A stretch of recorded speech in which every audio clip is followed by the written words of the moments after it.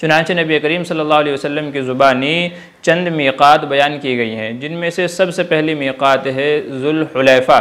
ذوالحلیفہ یہ اہل مدینہ کی میقات ہے۔